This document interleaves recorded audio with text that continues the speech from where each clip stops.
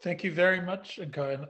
Um, it's uh, 47 minutes past the hour, and we actually scheduled um, a longer time for this. So actually, what I think we can do before we start, let's say, tallying the votes, I think because all our dragons um, more or less addressed every pitch, I think it would only be fair um, not to do a Q&A, but rather uh, have each contestant in reverse order. I would like to give you uh, 30 seconds uh, um, related to your pitch. If you there are any things you would like to clarify or stress that you didn't, you feel you didn't uh, get a chance to. So just as a reminder, the order will be in reverse order. So it'll be Jean, Teresa, Jonathan, Sean, Stephen, Teresa, Nobre, Jamie, and Alan. So with that in mind, um, I would like to start with Jean. Thank you. Yeah. Um, yes, uh, Ari made a very good point. I, I called for text-based work, but I didn't specify, I didn't narrow that down. And in particular, I think there are two areas. Uh, one is a preservation instrument, um, which, as Jonathan said, could be done by the, you know, the end of the end of this session.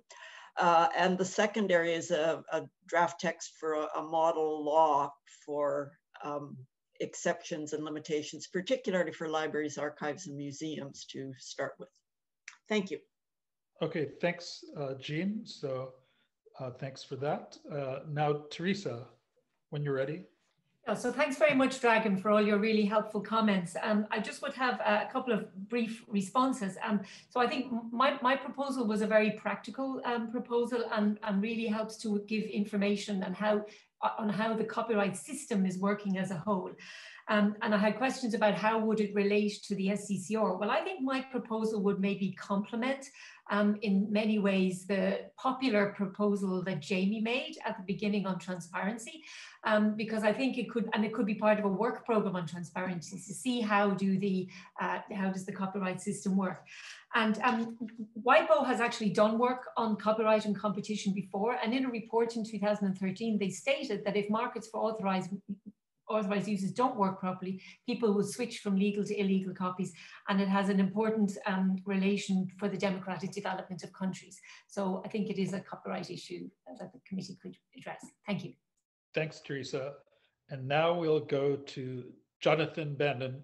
Just to let you know, I've been a bit generous with my 30 seconds, but please try to stick to 30 seconds. Thank you. Well, well thank you, Dragons. Uh, for your uh, your uh, response. I mean, first of all, of course, it goes without saying that you're all very intelligent and good looking. Um, and I'd also like to add that I, I, I uh, uh your basic intuition is correct that this my proposal is very pragmatic. It's it is um, it is the most likely to actually you know cross the finish line in our lifetime. And uh, you know that's saying a lot for uh, for the SCCR. Great, Jonathan. Um, Sean, you're next. Okay, great. Let me um, address the one question that I heard, which was from Ari, and let me just clarify that my my proposal is not that we take years to negotiate a new declaration, but rather that SCCR agree now to undertake a course of action to act now before the COVID pandemic is over. So we can call it very various things. It could be the copyright on, you know, the declaration on, on copyright and public health emergencies, or the declaration on copyright in the digital environment. But my point is that we're not negotiating anything now. And at this SCCR, what the what the committee should agree to is to work with a timeline, with a deadline of the next SCCR to actually produce a declaration at the next SCCR. Since we're not negotiating anything else, I think we should vote to address that one issue for as long as we're under this pandemic. Thanks. Thank you, Sean. Uh, let me reset the clock. Uh, yes, Stephen, are you ready? So th thank you, Dragons, for your feedback, and in particular, thank you to, to Ari for describing me as being moving, which has never happened to me before, ever, so thank you for that.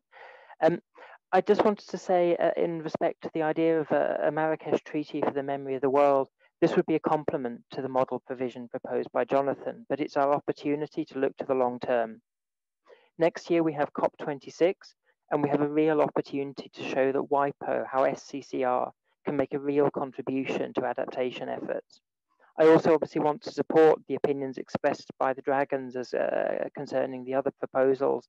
I believe in particular that a focus on transparency as proposed by Jamie would help before we make recommendations on subjects such as public lending right in order to understand the situation for authors, which obviously remains a priority for all of us. Thank you.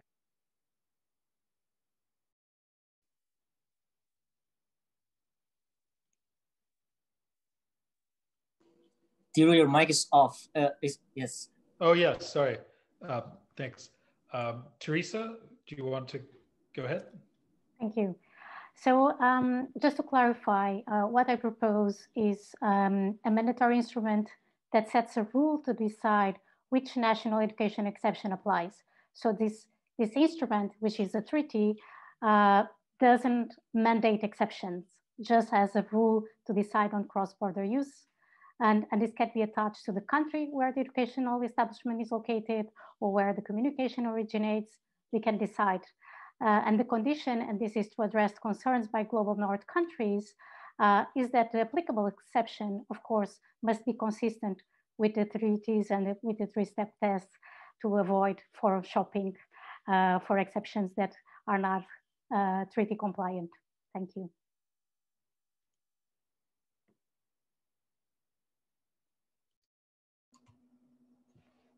Thank you, Teresa. Um, Jamie, um, would you like to respond?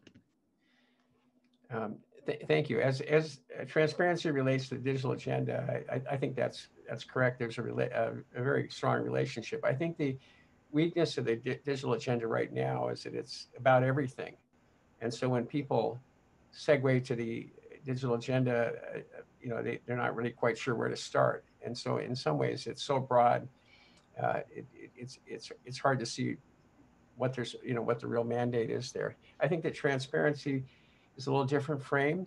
I, it's one thing I would say in favor of transparency. I, I just think people underestimate how important it is to establish in terms of good government and good governance globally that we put more emphasis on facts and evidence and that we just be better informed about things. There's huge asymmetries between what's actually going on and what people think is going on. And there's a lot of areas where they're just just black holes where people don't even really know. Nobody seems to know what's going on in some areas. And so it's sort of, you know, we're floundering around making policies without knowing very much. I think that the good thing about the transparency thing is that it, it, it can go to everyone's issue in all the different areas. It's sort of a cross a cross-cutting issue. I, I think the focus should be initially the goal of identifying areas where transparency is most needed.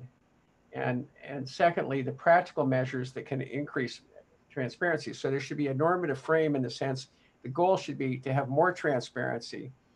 And that's sort of basically something that people should be able to agree at, at that level.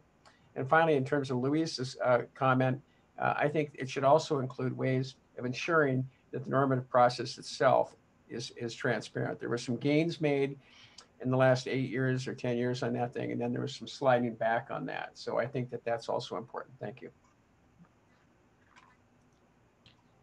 Thank you, JB. And uh, last but not least, uh, Alan, please. Uh... Yes, very brief comment. Um, uh, one comment that really highlighted is that lack of resistance to the inclusion of people with disabilities since it's already been approved, it went all through the process. And although there is, uh, it's probably the easiest issue, well, it's the least resistant issue within SCCR, it seems to be abandoned.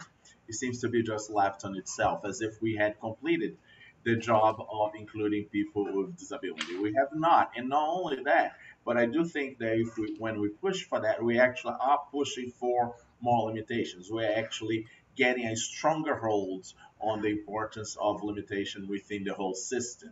Uh, all the other issues are very important, but they do bring resistance on their own, and I do believe that pushing forward with the easiest issues will actually strengthen the, the ones that are that face more resistance. That's all.